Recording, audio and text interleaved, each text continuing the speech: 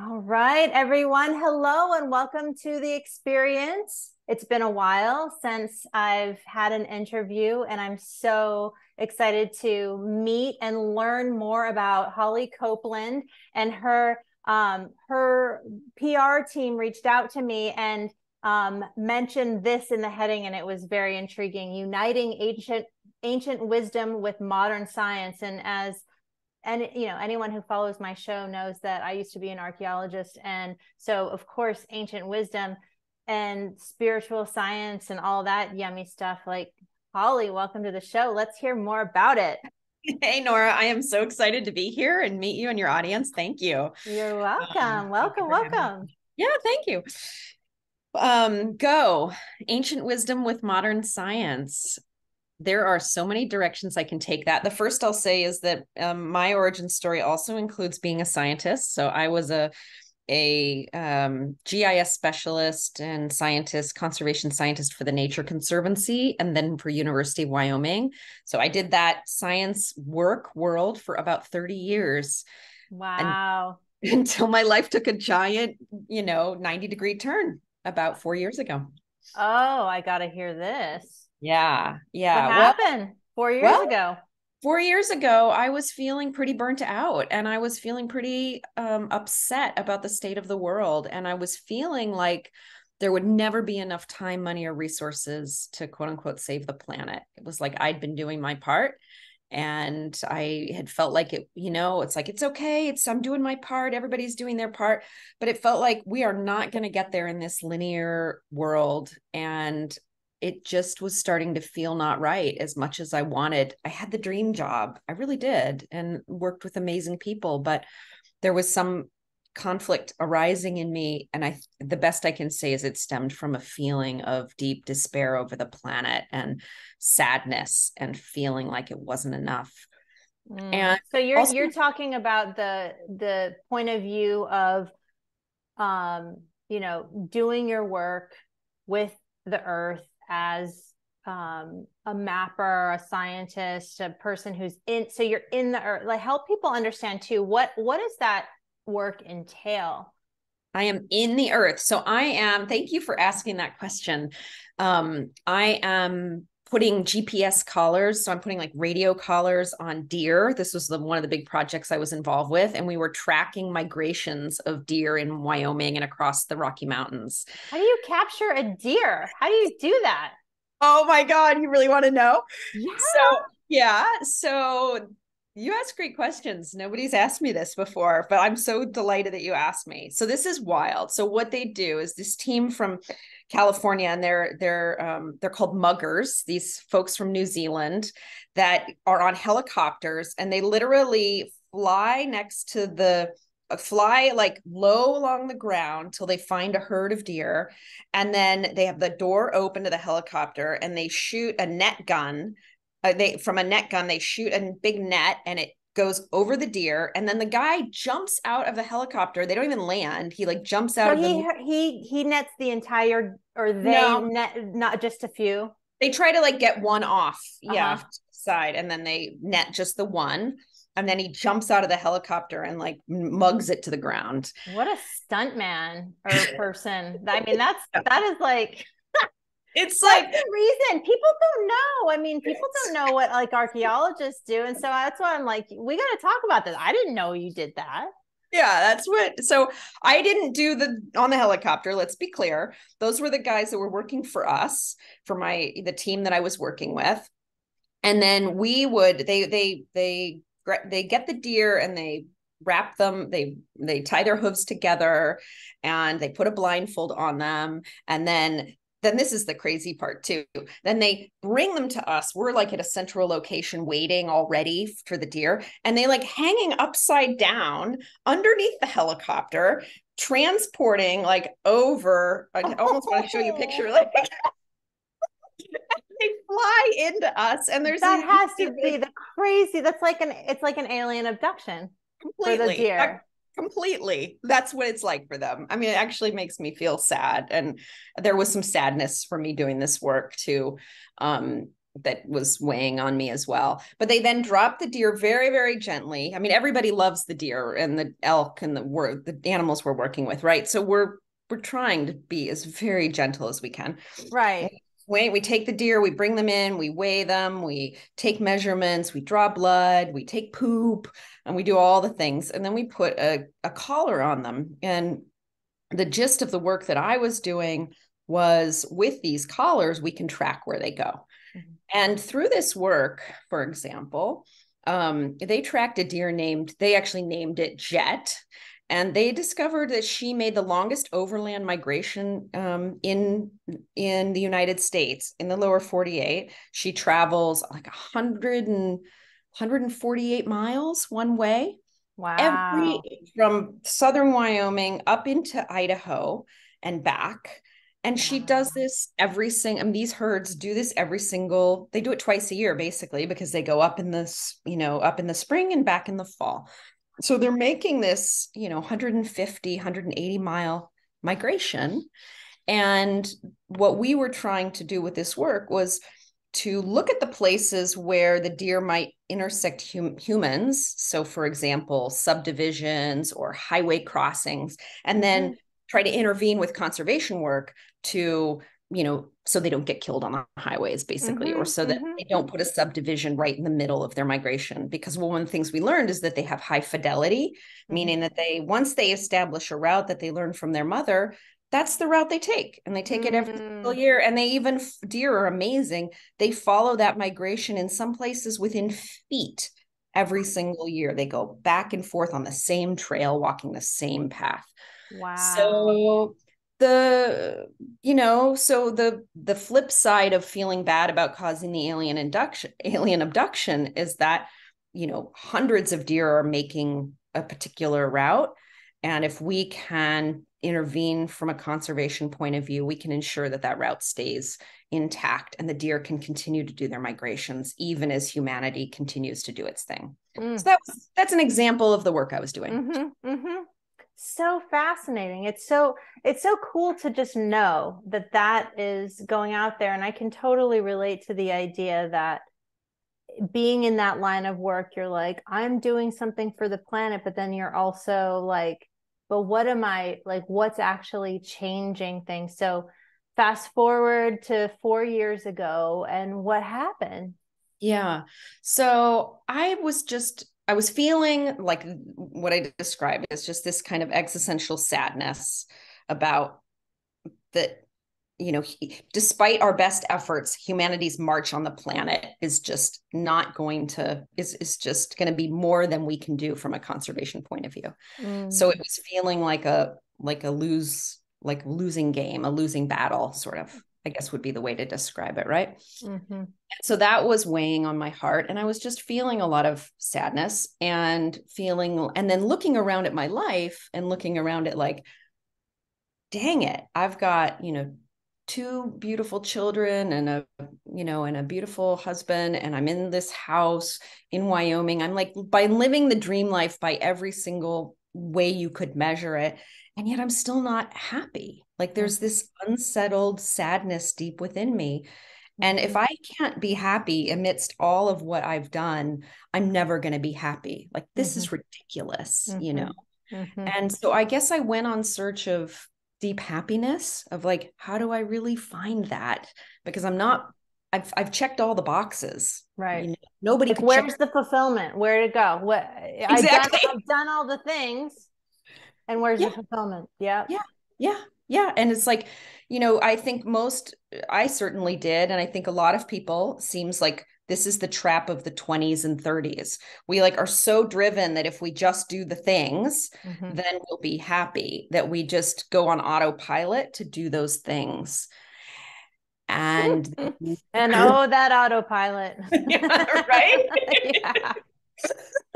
and then you wake up in your mid 40s and you go, wait a minute like I, well, and I don't know if you know this about my work. I'm a I'm a hypnotherapist. Okay. So yeah, so working with autopilot is all about, you know, what I'm interested in because it's it's like how do we live our life consciously you know? How do we do that? How do we bring humanity from this autopilot place? Because I think that's a part of the sort of historic record of uh, well what's existed in uh, industrialization which is like you get you do your work you you know you do all the things you have your kids you have your partner you do your work and then you somehow arrive at this place at this intersection of fulfillment and happiness and it's like uh and then you've arrived and it's like people are like wait where is it how did it how did this you know not drop into my lap it's i'm waiting Right. Where is it? Exactly. Exactly. And I stood there at 45 and I went, Where is it? And I'm like, okay, I got to find it. I got to, I can't go any longer this way.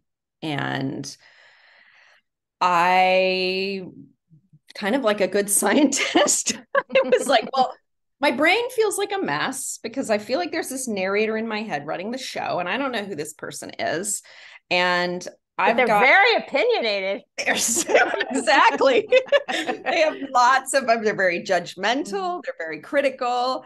Yeah, exactly. I'm like curious about this person. And so I start to read books like um Les Fehmi's uh, Open Focus Brain because I want to quiet oh, my mind. Uh-huh, I was like, uh-huh. I got to quiet my mind, right? I didn't realize at the time that meditation isn't fundamentally about quieting the mind but that's in my naivete that's what i did so sure you know i start it's an exploration I, yeah you start from like, somewhere yeah I start from somewhere i go to a meditation retreat and get my you know get sort of kicked to kicked down the, kicked I, it goes so from like nothing to a meditation retreat i mean That's it's intense yeah, it was crazy. I remember there was this guy there. he was, I'm like, he was a helper, right? I'm like, well, what are you doing here? He's like, well, I'm on meditation for for the month. I'm like, you're doing this for a month? Said, yeah. I mean, every day. He said, yeah. I said, you sit in silence meditating every day for eight plus hours. He said, yeah. And I just like my jaw dropped on the floor. I'm like, oh my god. I Have can't. you found fulfillment? did, it drop in for you because that's not that's not very that's that's kind of scary yeah but what i did notice was that the people the, the teachers that were teaching the meditation retreat had this etheric calm about them mm. that i mm. recognized i didn't have like they they exuded this essential peace and calmness about everything mm. that i didn't feel and i was like I want that. Whatever you've got there, that's that's what I want. I want some. I want some, please. so um, I continued meditating. I met another meditation teacher, a couple teachers. I did a class with them and ended up there. They teach subtle energy meditation, and I ended up studying with them. One one of them is still my primary teacher. We meet every week, and it was like I took the freaking red pill of, you know, I was in the matrix and I took the red pill and I just dove into consciousness, um, plant medicine. Um, I did all the things, you know. Oh, cool. That's cool. That's a cool thing to talk about too, because it's so it's so prevalent right now is is you know, just sort of expanding consciousness through plant medicine. Yeah. Yeah. You did all the things. I did all the things. What was your husband like? What's yeah. going on uh-huh yeah um he's bless his heart he's a beautiful man um we are no longer married mm-hmm. mm-hmm. so it sort of gives you an insight into yeah that. like i yeah yeah no i mean I, I it it's miraculous when it works out and um yeah, yeah. these are big soul changes these paradigm shifts that that happen and that can have a huge impact on relationships i mean it, it has to it has to. It has to. And bless his heart, he's a scientist, like a hardcore scientist with a hardcore, you know, materialist scientific scientific view of the world. And mm-hmm. my ancient wisdom kind of went straight up against that and blew my world apart. And was he an know, atheist? I, yeah, more or less. Yes. Mm-hmm. Mm-hmm. Yeah.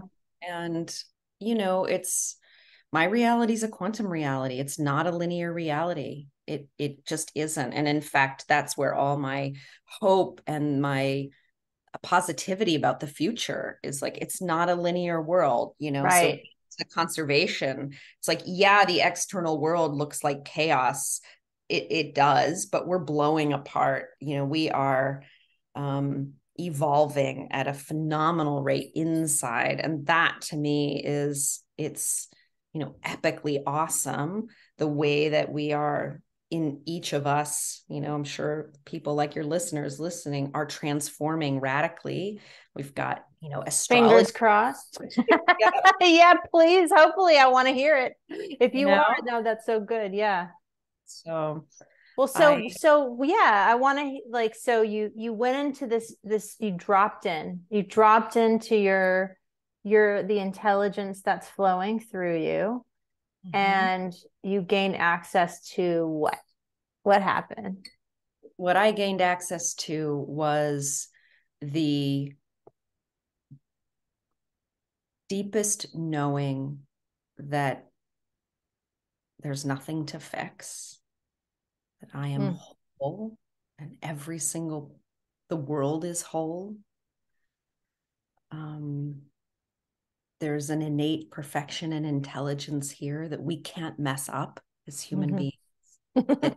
Isn't that refreshing? God, right? Especially right now. Like it's a wild, wild time. It is. It is. And, you know, my, I have to say that, like, I wrestled with evil and good for, you know, most of my life. I was, like this is my my sort of existential crisis it's like the mind can't work out how can there be so much bad in the world you know mm-hmm. whether you know you, you could name it you could sit here and name it forever right it's so observable there's so much of it it's so right. yeah right you know name your poison name the thing that breaks your heart right mm-hmm. but um you know for me elephants and the what we were doing to elephants was just breaking my heart as one mm. example mm. right and mm. so um, what humans are doing, like in Africa. Yeah. Yeah. Yeah. Yeah. Yeah. Oh, cutting off their tusks, easy whatever, right? suffer suffering vector right there. right. So just to point to one example of something that just was breaking my heart, right? And so how can that exist and how can I be well at the mm. same time? That's yeah. the crisis that I was mm-hmm, coming mm-hmm. up with. This is Do good. This is important. Right? Yeah. Do I ever have the right to be well and mm-hmm. good and happy and joyful amidst all of the evil that apparently is in the outside world. It it was, I mean, that that's the central crisis, right? That's the you Absolutely. know, if you that's the hero's journey to yeah, that's the root cause of so much suffering. So exactly. so how did you navigate that?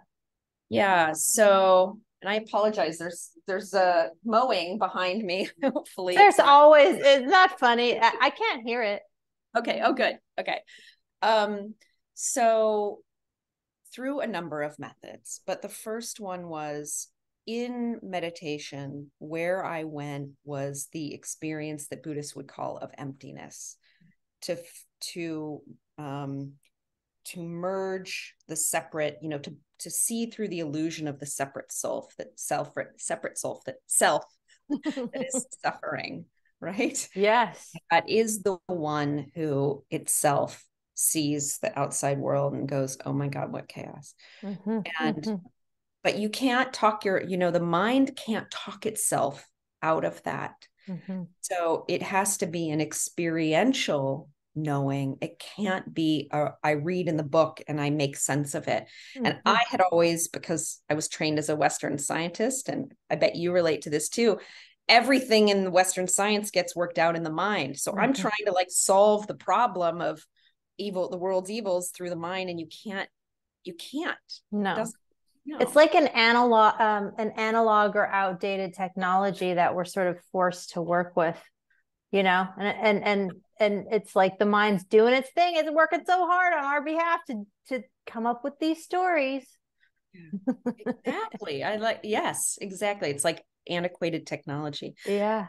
And what I discovered through meditation and the teachers I worked with was that there's a better technology that we can bring online that is transcends the, the limitations of the mind and it's actually right here it's never anywhere else but right here and it's like but you have to somebody has to show you how to flip the switch. Mm-hmm. Usually, some people mm-hmm. arrive yeah, there. Yeah, yeah. You know, the Eckhart Tolle's of the world kind of have yeah. their own realization, yeah. but for me i i worked in a worked with these teachers to see and to feel and know for myself to see through the illusion of the separate self and when i did that it it literally changed everything i mean it and one way i describe it is it's like finding the ground of being you know mm.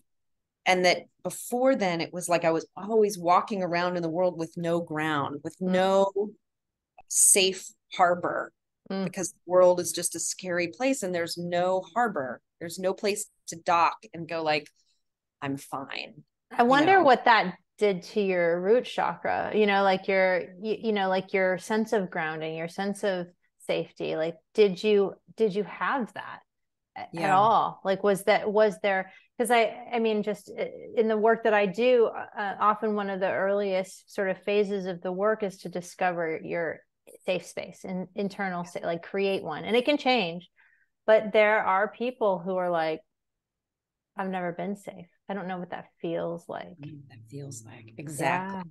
Yeah. yeah totally. So i work with people like you to help people find their safe space to help people find the ground. Let's go so let's beautiful. go together and let's find the ground yeah. You know, you know? yeah and- a guide to so so what i hear you saying too and and we need a lot of us in the world with different sort of languaging of of this type like your way in. Just like fitness instructors are showing you how to find those little teeny muscles that you didn't even know that you exist. Same thing here. It's like where is that sort of special like n- knocking on the door so that the you know that the portal opens up and then the access is granted? Yeah I love that. Yes, exactly. Exactly. We need a lot of us doing that work. We do. So, yeah. Everybody. Yeah. I mean, look at how many therapists are busy, right? Like therapists are booked uh yeah. Yeah. far in advance and you know, this this deeper work is um is I think it's next tier. I mean, a lot of people, I don't know if this happens to you, but people come to me and they're like, okay, well, this is the last resort because therapy is not working right. you know? Definitely. Yes i get yeah. get some of that for sure. And um and once i found the ground then it opened up into this discovery of also the energetic universe and and the subtle energetic universe. So I work with tuning forks with people to oh, release cool. trauma in the field. I'm a biofield tuning practitioner. And what I have found is that combining the seeing the ground, finding the ground with the energetic work is super powerful. Um, and do breath work as well. So I kind of use those three are my kind of three pillars. Mm. And to help people you know release trauma in the body release trauma in the field through the magic of vibration and tuning forks and because even when you see there is still there can still be you know the the vibration in the body and i there's various modalities to to release that but mm-hmm, mm-hmm. you know plant medicine also was extremely helpful for me in in clearing you know it's a process of clearing um, alchemizing the pain into mm-hmm. love, mm-hmm. to compassion. Yeah, yeah. It's so interesting, and I'm and I'm curious. So, um, what do you mind me asking? What kind of plant medicine was catalytic for you? Yes, no problem. Yeah, so I worked with ayahuasca. Mm-hmm. I worked with a shaman in the United States for a while. And then I went down to Costa Rica and did some ceremonies there and then came back and worked with a different shaman um, here in on the West Coast, so of California. So I've awesome. worked with, yeah, a number of different um three different groups and I've been to some incredibly dark places. I will say that most of my journeys up until um, the last two that I did were extremely hard, mm. extremely the hardest nights of my life. Wow.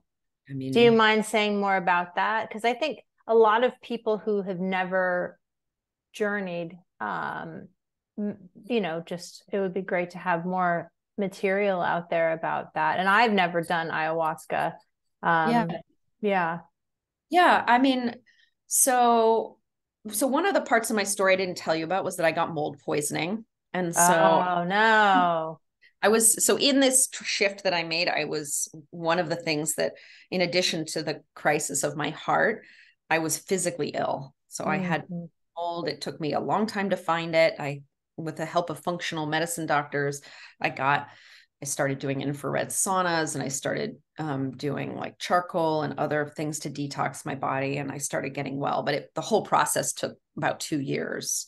How, how did what, how was the mold showing up in your experience? Um, you mean in my body? Yeah. Like what were the symptoms? Yeah. So I literally woke up one morning and I had edema, bags under my eyes. I had red, like redness under my eyes and skin and puffiness. Mm.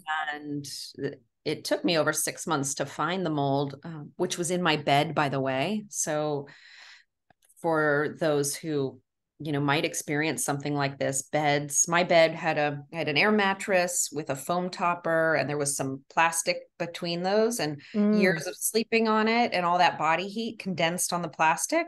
And oh. so unbeknownst to me i mean this is all sewn into the bed. I can't see any of this right? Oh right. Right? But unbeknownst to me every time i would lay my head on the pillow and you know sleep for eight hours i was getting a giant dose of mold. Whoa. So yeah it was and i had no idea i mean we we tore yeah, sure.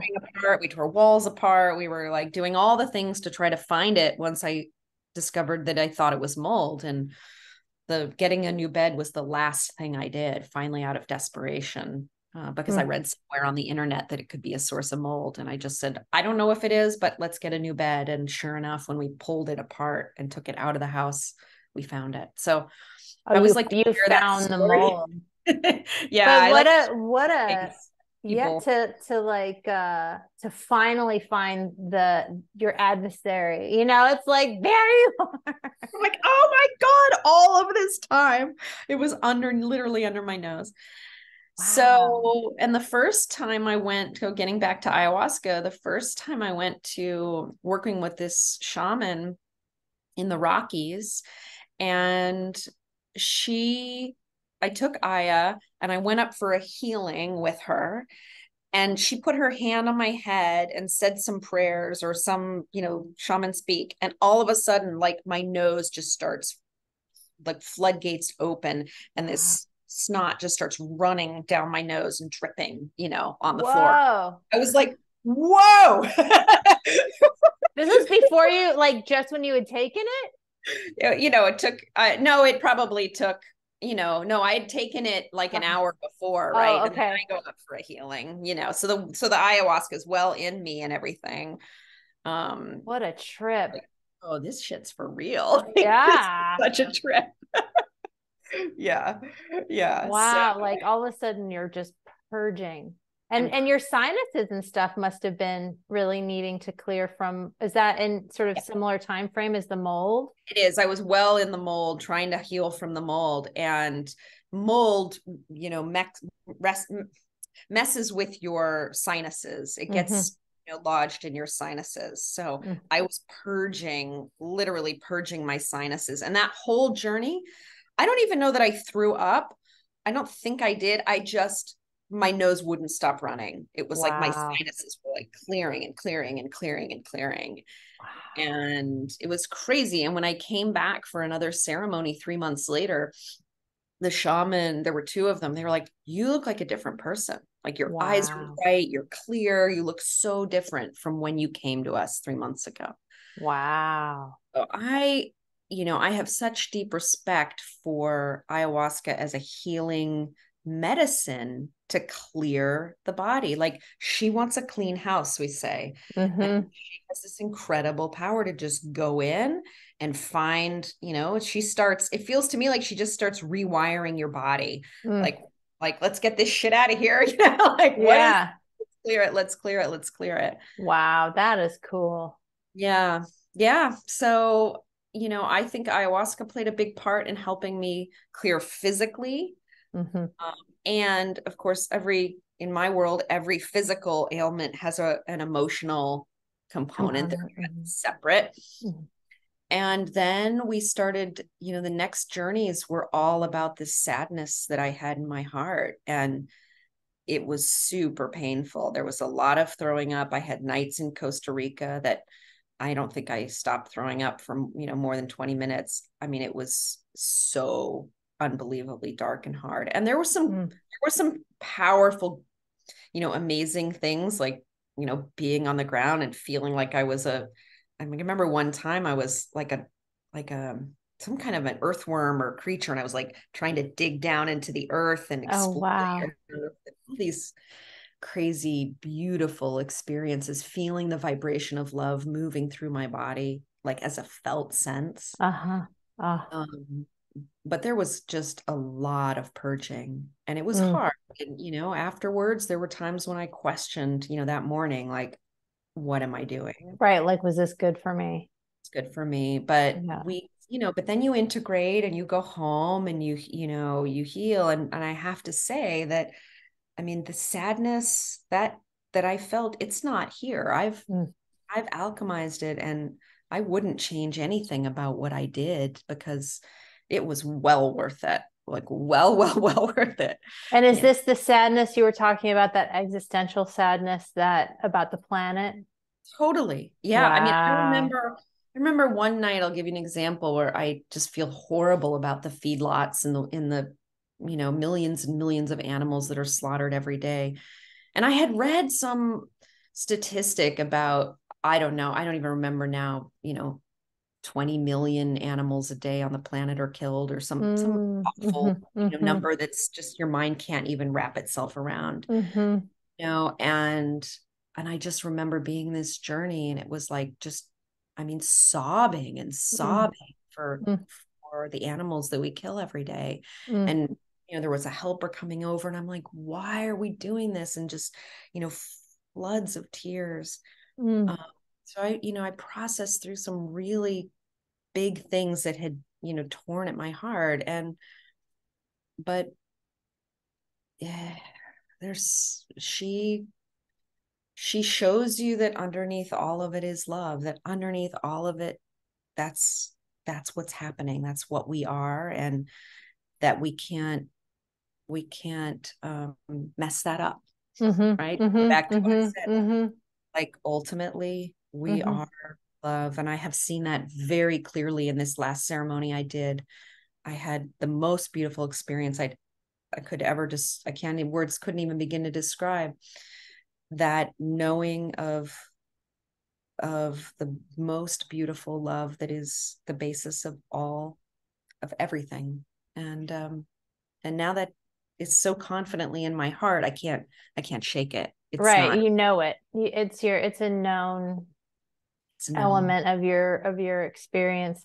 Well, it's interesting that you bring that up because I think it's you know it's so it's so timely in a quantum sense. Um, and yesterday I was thinking about um, suffering, and on my way to work, I saw a squirrel that had been hit and not dead yet, like flapping flopping around on the road, and I was just like, oh, and, and but the thought that was in my head, and I don't remember where it came from, but the idea is our suffering, like what we're seeing and suffering from externally, is a reflection of what we're what suffering what we're suffering from internally. Like so, I just it popped into my head at that moment because I was suffering so much in that moment of seeing that squirrel. Of my interpretation of their suffering was causing me such deep suffering that I was just like, it, it almost felt too much to bear.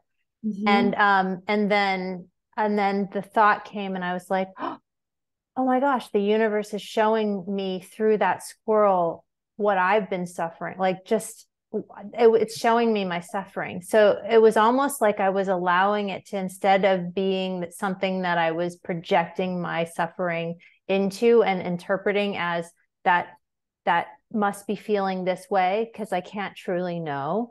Um, Right. to the universe is saying this squirrel is is representing the suffering that you're carrying right now. Like you you don't have to suffer you can you know like the universe is going to show you what you're what you're looking for basically like if you're in the vibration of suffering you're going to be fine you're going to be seeing it in the world and and and it's i mean it's just to me it, just it seems poignant because i think a lot of people right now are suffering because there are so many things to observe like there's so much suffering there's right. so much to suffer and focus on um, in the right. in the midst of where we're at as a as a world and in our you know just this current wild time that we're in and um i think your message about that every that there's nothing going wrong here like everything is everything's okay. Yeah everything's okay. Yeah. And what you said about the squirrel is so wise and and on point and i just want to riff on that a minute because it's so yeah please. Yeah so that very much is my experience is that when we see something suffering like you did with a squirrel and then you have this recognition that it's it's actually my suffering. There's no separation. There isn't there isn't a separate suffering. In fact everything that's happening our experience in that sense is us. Yes. That is the the message of of the great sages the wisdom traditions is that there is no separation. You you you it looks as though there's a separate you and a me but actually there's you know and i love pointing like a very easy way to point this out is to say can you find the boundary between you and me like if I ask you to find the boundary, right? You can close your eyes and go like, can I find the boundary between Nora and Holly? Like it doesn't exist, right? Same with your squirrel, right? If you mm-hmm. if you mm-hmm. feel into that experience of the squirrel, can you find the boundary between, you know, the suffering that you perceived was its and and you? Like no, there's just suffering. So everything is I had this realization come out to me in a in a ceremony where it was like everything is me. Mm-hmm. Actually, mm-hmm. everything is me. And yeah. actually, paradoxically, nothing is me. Both. Right, right. Yeah. well, and just think how many people would just like trip to know that they're Donald Trump. right, right, exactly. Everything is me. That means, or they're the war in Ukraine. Right. Yeah. Yeah, exactly. And so then what you do when you have that so when you feel the suffering of the squirrel or the absurdity of Donald Trump or you know your anger that arises from that is rather than to be to look to if Donald Trump didn't exist then I wouldn't feel anger that's the old way the new mm-hmm. way is to pause feel the anger arising in you as yours and say that's mine I take ownership I'm not going to blame Donald Trump for making me angry. I'm actually going to own it and feel the feeling of anger arising in me. Mm-hmm. just sit with it. And it will actually, it, it can't It'll do what it does. It, will move through. Yeah. Feel the feeling, drop the story, you know, Pema Chodron, you know, let the feeling move through you. Let it, and ultimately, as we do that practice of kind of release of being with our own suffering as mm-hmm. and claiming it taking you know reclaiming it as ours we alchemize it we we actually come home to ourselves right mm-hmm. we give mm-hmm. ourselves the permission to just to love to love the anger to you know to claim it and um over time that will what in my experience what happens is anger doesn't arise anymore. It just mm. arises as compassion. Mm. Wow. Just, I just feel compassion when I see mm. those things. Mm-hmm. Mm-hmm. Which, you know, and my heroes are people like the Dalai Lama. You know, you look at him and that's like, think of the suffering that he's witnessed for his own country, right? Mm. But yet there's this smiling, knowing in his eyes, and what he exudes is compassion we we you know we look to him and because he's like everything is okay and let me show you it's mm. okay mm-hmm. you know um and what i find in my own experience from that sense of okayness, which is really what is the gut of this, is like there's I am fundamentally well. You are fundamentally well. You fundamentally don't need to be fixed. Nobody listening here needs to be fixed. You are well as you are. And when we step into that new reality and we really claim our whole selves, then we step into possibility for whatever we want to co-create with the universe. Mm-hmm. so then you move into the world in this empowered way of being where you get to like what am what am i you know what does the universe want to do through me? You know how do i want to show up? How do i want to contribute? And it's like showing up in a whole new way because you're not broken. You yeah. show up you know I love it. I love it. And it, and it, it, to me, like what I would, what I would call that is you, your soul gets to be involved in this, in this experience here on earth. Like you no longer, because when you connect with those awarenesses and you're able to sit with them, you're also activating what I would call this deep technology within your human, this latent technology of the felt experience and that intelligence that comes through our felt knowing you know and so we become these these activated you know super capable beings where we can where we are more mystical and magical and quantum and so what reality you know that linear reality is just like eh. Absolutely. I love it. Activating the deep mm-hmm. technology. We have so yeah. much, re- I, you know, speak in that language often too. So we have so much resonance. And it's like, right? When you activate that deep technology, you become a superhero. Yeah. literally yeah. and that's what we came here to to do it, you know yes we knew that it was going to be hard yes we knew that it, there was going to be trickiness but we also knew that we were going to be able to have fun with it, or we wanted to anyway, that it was going to be playful for us. And human beings have gotten into a place where we've forgotten, and that's okay. We get to remember now if we want. And so those are the people that come to see you. Those are the people that come to see me, or those are the people who are looking for this material out here, which is the whole reason I do this show. It's like I get to have these conversations. You get to have these conversations. And if our delicious, yummy conversation can have, you know, energetic tendrils that are out there for people to go, oh, that's what I'm going through. This, this thing that you're talking about. This is that thing.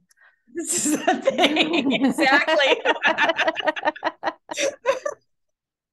exactly. Exactly. And, you know, I have to say, like in my own journey, I was I was listening to things like 20, practically 24 7 when I wasn't sleeping. I would be listening to all these different teachers.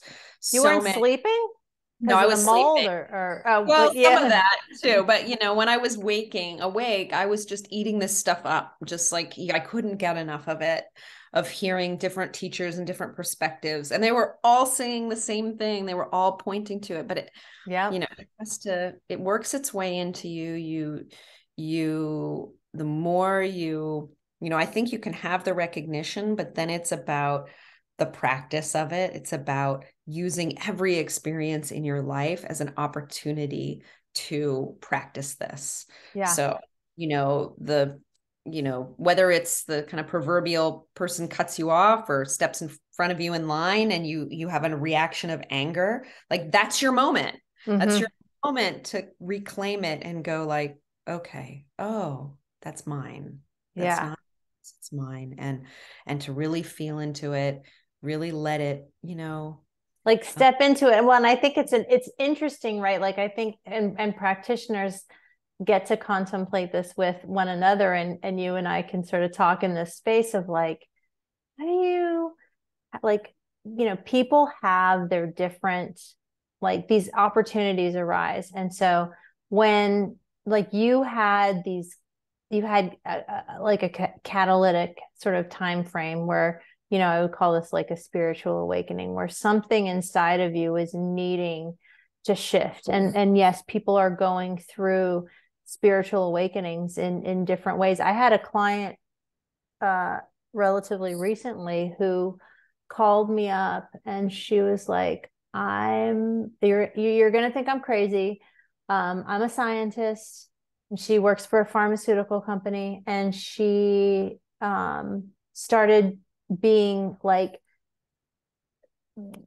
given like in the midst of somebody's death experience. Like where all of a sudden she's that person who's either dying of suicide or of murder and all like all of a sudden she's in that experience. Like her consciousness is their consciousness.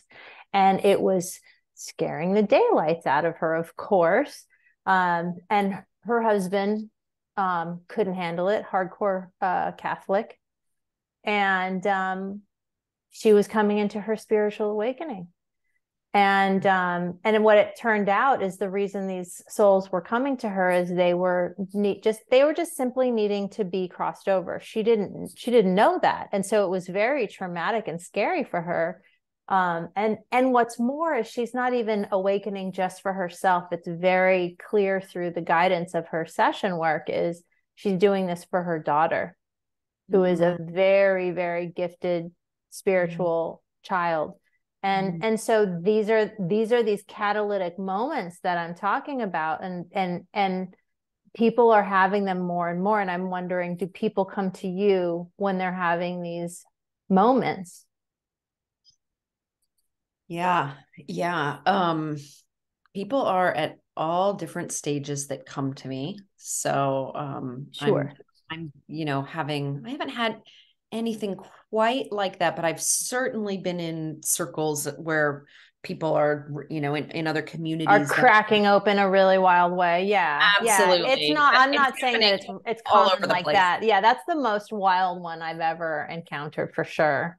Yeah. But it's, it's amazing how, how many people are opening in these kind of wild, wild ways. Um, there you know where we're connecting essentially in the quantum field with you know different dimensions different aspects of so-called reality different dimensions yeah and mm-hmm. i think i think people's souls uh, you know doing I, I, don't know if you're familiar with the work of dr michael newton um, but you know when when i work with a client on a soul level their soul has a sense of what they want to be happening and there can be sort of a blueprint or a, a rough sketch of what it is and what time frame things should be moving. Like if you're going to stay with your blinders on then there's going to be this moment and you'll have an opportunity there. And then there's going to be this moment there's going to be an opportunity there. And there are these big moments. And i don't think that that's always the case. Sometimes it's just the activation of whatever it is that they've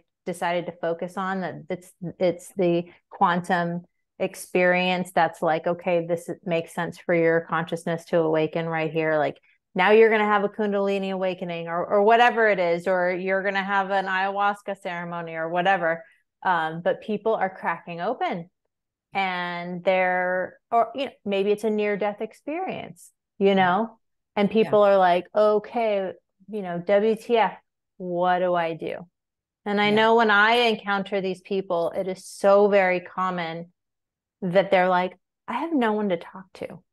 Yeah.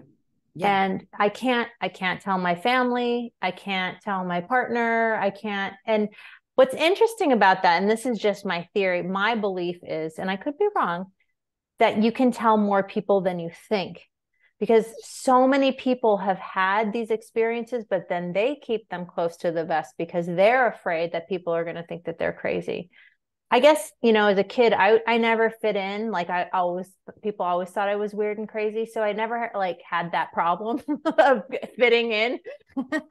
yeah. Um, yeah. But people do, they like, like I'm like, I'm not that person. And it's like, oh, well, you might be.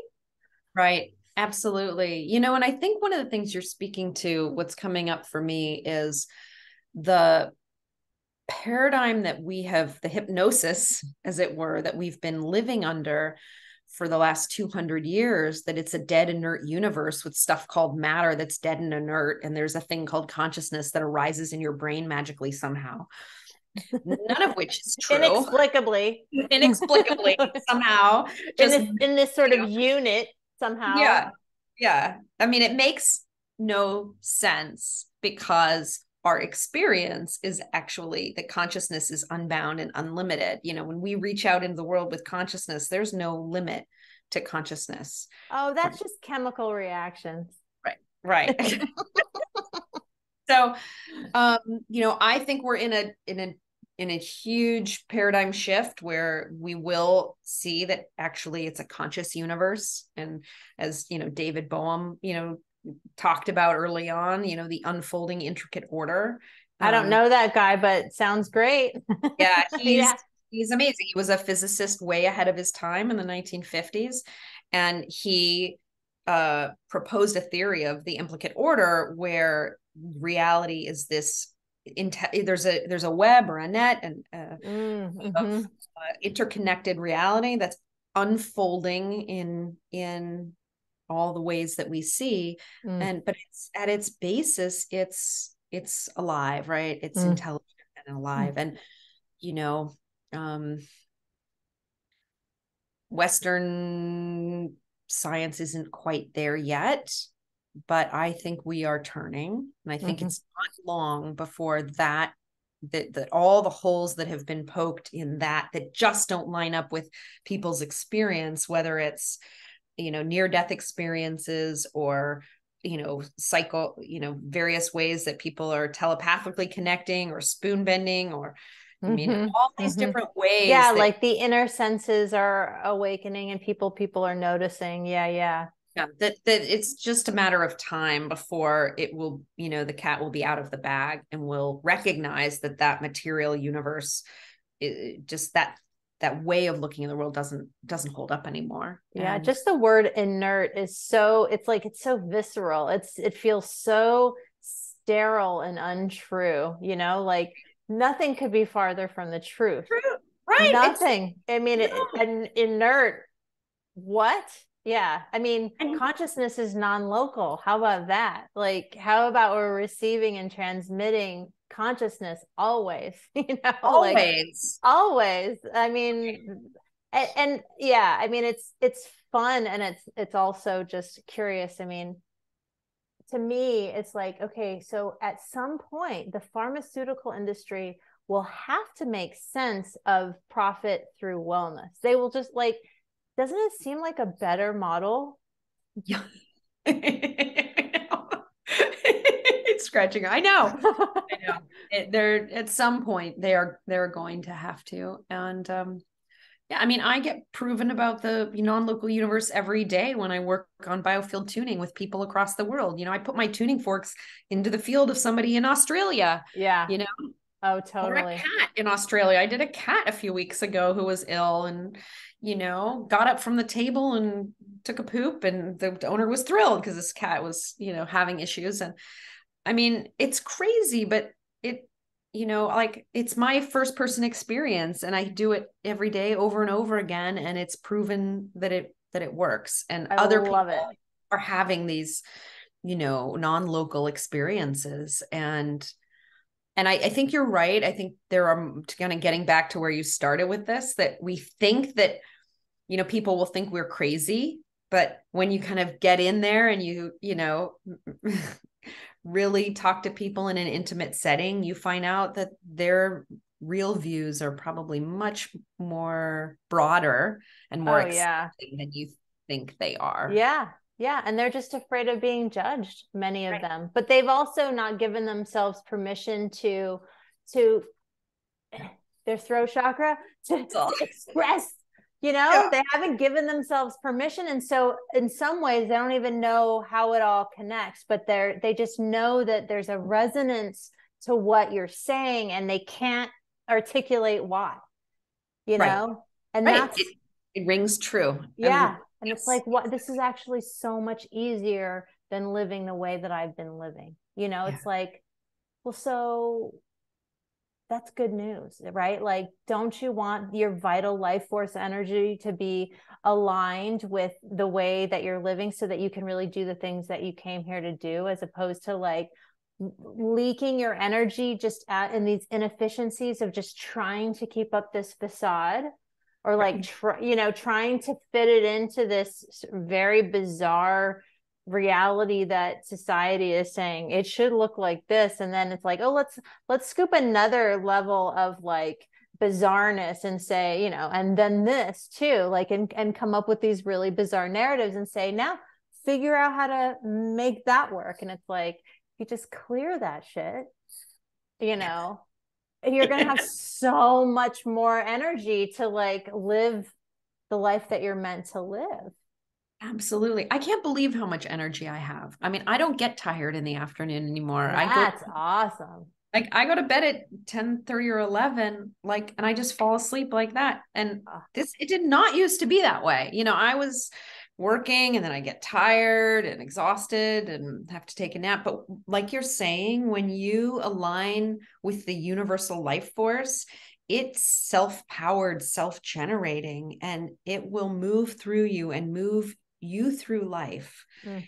in an effortless kind of way. It really is like that, like the mm. old way that we have to do work mm-hmm. in order to um, get things done is is not the only model out there. And I'm not saying so true you know it's not like i do dishes i do my own things yeah. me like i i do the stuff you got to do do the things i have to do so this is the part that the mind goes what do you mean don't do work but it's like it feels effortless because you're mm-hmm. not resisting what's happening and when you stop resisting life and you start letting it flow through you you just stop and you you just don't say no you just start saying yes to life and it moves through you and it's self-powered and you know i'm still doing the dishes but i'm not waiting for anything to happen they're just sort of doing i'm just you're just in it. Just in it. Yeah. it's just a different way of being altogether. Well holly copeland i appreciate you being on the show um, I love what you're saying, and I really want people to know how to access your services because they're going to want that energy you're talking about. Yeah. So, uh, how, how can people work with you? Yeah, thanks, Nora. So, my website is heartmindalchemy.com, and there's a couple different ways to work with me. I'm starting new monthly groups starting this month. We meet twice a month, and it's just $44 a month, and you get if this really resonates with you and you want to join a community of people that I'll be doing biofield tuning, I'll be leading meditations and doing breath work um 90 minutes two times a month you please awesome. come join my heart mind circle and then i do one-on-one coaching mentoring um biofield tuning breath work and um yeah, and there's also a, a course that's uh, an evergreen course online. So those are some things you can find on my website if you would like Fantastic. to start working. Fantastic. Wonderful. Well, I'd love to have you on the show again. And I have to hop off because I have a client I need to call. But yep. um, I will put all of that information. If you have anything else that you want me to put in the um, in the description, just let me know and I'll put it in and I'll send this to you when it's all said and done. But until then, thank you so much for joining me on the show and getting your energy out in the world. And um, it's great to know that you're out there. So nice to meet you. So nice to meet you too, Nora. Thanks so much for having yeah. me on.